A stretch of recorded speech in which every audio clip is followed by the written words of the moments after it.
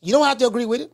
Shout out to Bill. Hey, okay. Dropping that for dropping that. Um, I, I, I don't. I think this is uh, is this not? I don't know what. I don't know what currency this is. He say, Coach, who hit harder, Hearns or Bud? I have no idea. I haven't got hit by neither one of them. He said, I see. I see Bud giving putting up a good fight until Canelo sparks him, a la Hagler Hearns. Sugar Ray Leonard never fought a Canelo type at 168. I mean, you know, I mean, that's how you feel. That's how you feel. I mean, it's it's all opinion based.